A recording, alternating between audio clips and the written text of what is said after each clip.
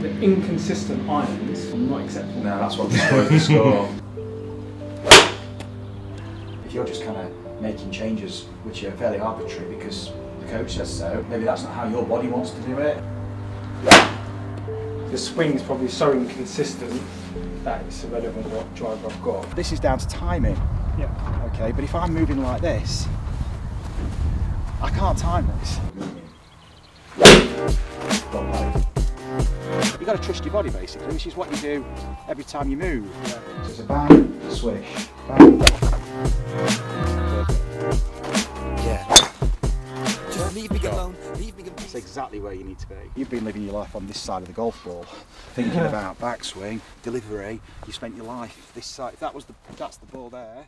You've been. That's probably helping with the distance and also some of the control, but I mean, I was saying it's so.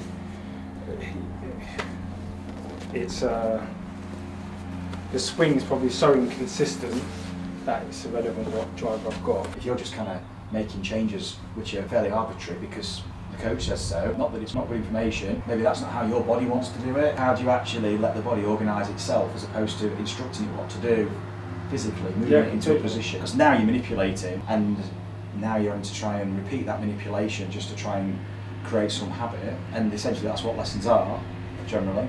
Conventional ones, but are you really developing the ability to regulate this? And what's the rest of the game like? Chipping, pitching, Chipping, chipping, game? putting's decent. Right.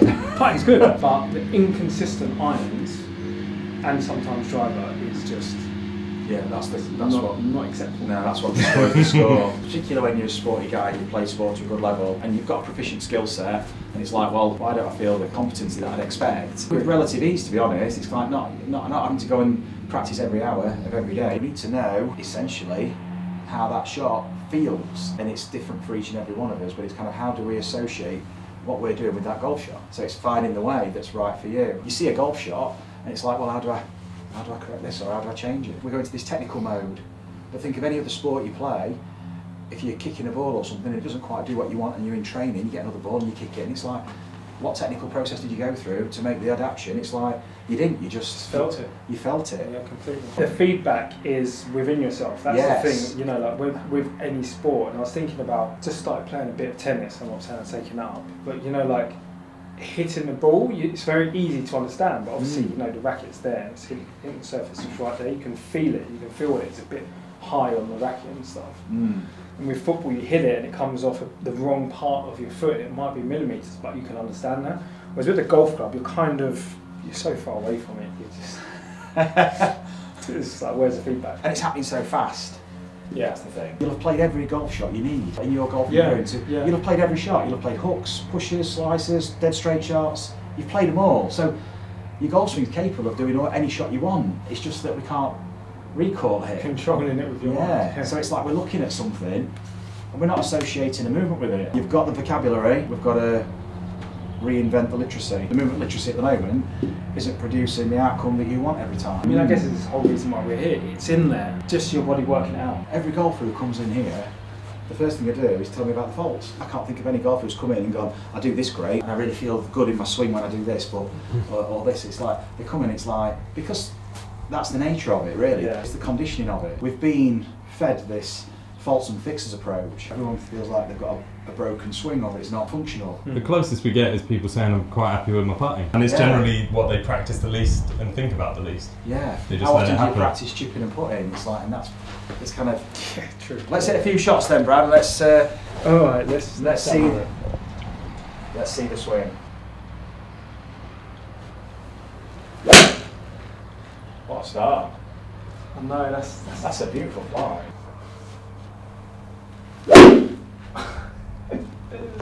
I love that we started on a good one.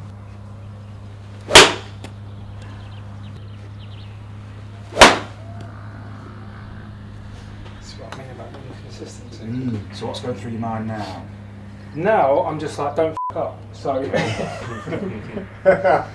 So what are you doing to not f- up? uh, thinking about it too much. Okay. So I'm thinking, come round.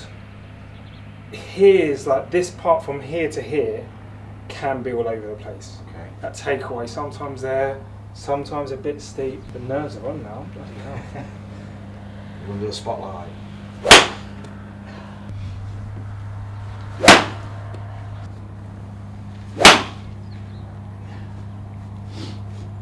One good one. How many is that now? At least I'll be getting my money's worth today. Yeah. the next one could be the best golf shot you've ever had. or not. No worries. Right. Not let's, there, let's connect you to this golf club. Let's use both of these, seven and eight. Yep. I'm going to grab two clubs. We're going to nip outside. All I want you to do first, Brad, is just swing the clubs. Just half swings like this. You're getting there. You're working it out. It's really good. We can make it better. Initially, you were swinging as you were jumping. Yep. This leaves you no time to do anything in the swing because how do I recognise what's moving when? Because everything's moving together and my club is swinging with my weight transfer Yeah. at the same time. That's like throwing a ball. That is that is literally how Everything. how I perceive the swing should be until recently. Right. This is down to timing. Yeah. Okay, but if I'm moving like this, I can't time this. First of all, we've just got to separate this, that's all. We've got to disassociate the system a bit. They travel with you, and then when you've stabilised, yeah, you let them swing. Brilliant. Ace, that's brilliant. Now, let's just put the 8 iron down, and we're going to make one swish over here, and one swish over here. Good, so there's a weight shift. Can you feel that to Yeah. Good, so we can start to use the swing weight.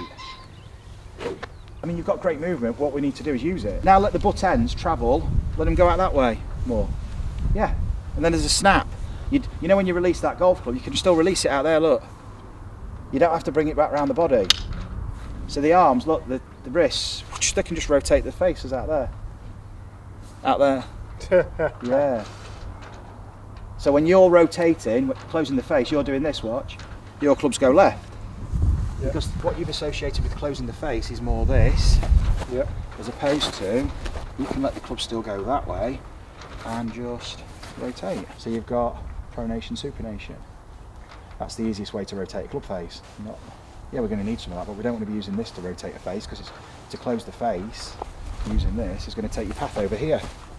Whereas we could still swing over there and just rotate the face. It's almost Yeah. keeping the club face in the same position. You've been controlling it too much. coming Brad. around on it. You've been controlling it too much. That's all. But that's that's because you've been, Okay. but you've trained yourself to think Think about your golf swing. Yeah, completely. We lose this sense of control because we have two hands on the club all the time. We're thinking of this. Okay, now watch this. Let's just make some circles. There we go. Good. Now, when you make the circles, Brad, let the face open on the way down, and then as it comes back up, it closes. Then it opens again. It's like a barn door opening and closing as you're making the circle. Let the clubs go up and down more like this, look. Big circles. So it's going almost vertical on the way up, look. Your shafts are about here, we want them up like this. Yes, you're going to need that in a golf swing. Because that's leverage, that is that's power. If you're not using this in a golf swing, this power here, this uh, power is leverage, you're not using that torque, you're going to have to get it from somewhere else. Where's the next place? If you're not getting it from there, what does the body do? It goes to the next joint. Whereas that's rigid. So what's the next thing? Shoulders. So now you've got to rotate the shoulders hard, move the torso, the thorax really hard Let's try and get some speed. Now everything's moving together. That's where we've been. Yeah, that is my golf swing. You're essentially feeling the golf club now with this end of the chain, which is swinging it. It's like playing football. You're feeling kicking the ball with the foot. That's the what's what you're kicking Yeah. it with. Yeah. You won't think about your knee or your hip or any other part of your body kicking a football. You're just kicking it with your foot. So it's like with your hands, we've got to be super sensitive to what we're doing with the hands. And you are already at a lower speed with chipping and putting. The awareness is there, we've just got to develop it at speed. That's a fantastic golf shot.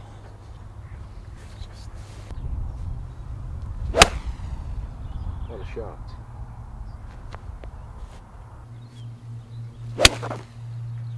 Perfect. Shot. That is a golf shot. Different feel to that? Yeah. Yeah. Hoping we can keep this on the course. So what you do on the golf course is you don't try and control this in a way that you previously did by tensioning. Yeah, so much, so much. It feels so different. This is the letting go, right? And this is the leap of faith you have to take because this is a freewheeling release. It's just this is a trusting from here to it's here. like trusting it. What that, what your intention to what that ball is going to be rather than just so scared of a mistake. You're just like, right, I need to do everything perfectly. It's almost been before a damage limitation Yeah, completely. method as opposed to actually letting yourself just swing freely. That takes commitment because you're letting yourself go. But then when you start to see shots like this and now you're doing it from time and time again and you start to regulate it, it becomes the norm. You've got to trust your body basically, which is what you do every time you move. Yeah. Your attention's in the right place here. Just a couple more. Go to a fade. Yeah, look at that fade. Shot. Maybe not as much as you wanted, but it You faded. can see it there, yeah. Yeah. Just do some half swings, please. Just yeah. That's it. Back and forth. so, what I put the club in the hands for a purpose to see where you went for your speed straight away. You went to the upper body. It's actually your normal mode of operation where you just use your arms. Just relax the arm there, but keep your grip. That's it. So just bang the board to the right. That's it.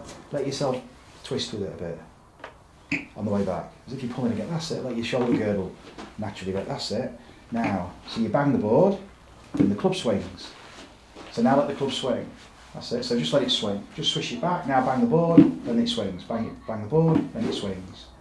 Bang the board, then it swings. So it's a bang, swish, If you love the coaching and want to experience the effects of the training that you see with our pupils, you can purchase the GRFI system yourself by following the link in the video description. You'll get all the equipment and a two hour download covering all the fundamentals, exploring your movement and how you can use the ground and create those all important ground reaction forces and transfer them through to club head speed and experience the gains that you're seeing in the videos.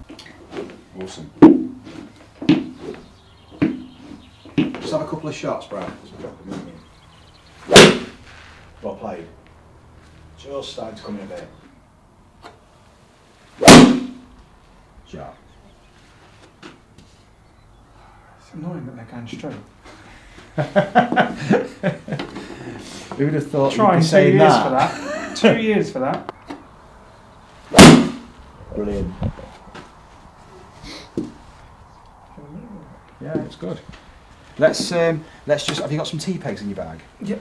Awesome. Let's grab some tee pegs. Just rotate your hips towards me, and just come onto your left leg with your body weight. That's it. Twist your hips. That's it. Now just lean your chest back away from me and push your hips towards me a bit. Good. So you can actually counterbalance me with just your body weight. You can counterbalance me, and your arms are soft still. So you're letting this club swing. So this feeling here, Just without the ball, yeah. body here, all good on a driver. Because usually I'm trying to stay here. No, yeah, that's yeah. You And need that's to why be shifted. pushes out. We're gonna well, we'll, we'll see because we need to Yeah. we need to counterbalance this. If this is going to rotate freely, and it's going to swing out here, you need to be able to counterbalance it. This is where I'll take you later on with the GRF, with the ground reaction forces and the Yeah. more of the lower body stuff next time. Okay. Today's been sequencing, separating, you understanding release patterns, creating the right mindset to go and develop the game, and then we'll enrich that later on and Yeah. develop it further. What I want you to do now with that, we're not going to hit the ball. I just want you to swing back and through to this place. Yeah, different feel. Yes, Yeah. that is exactly where. Feel like I'm upright. That's exactly where we need to be, Brad. Just try that.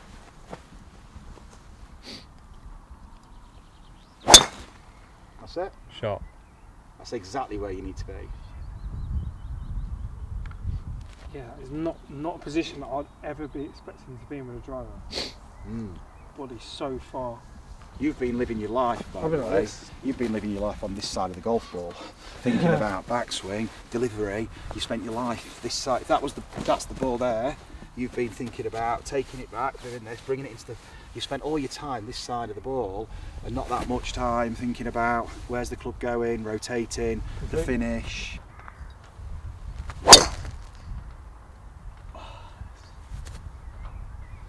Feel? Yep. Yeah, that felt almost like the up like that. Did it? Yeah. And it flew straight to that one, didn't it? To be fair, so you didn't have the rotation. So yeah. you- So, your feedback there was well aligned with what actually happened. Yeah, that was that's not ah. rotated. You see. Whereas, whereas, yeah, yeah, Yeah. yeah.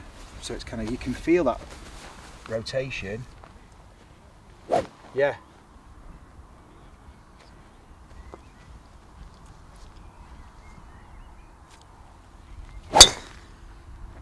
Brilliant. Shot. Three shots, same place. Take that all day. and that's the one. Oh, sure. Right, What, home time. what a golf shot. It's a good- Brad, that was brilliant. Appreciate it, mate. Well done. Thank you. Changed my life. Thank you. I'm getting straight on there. awesome.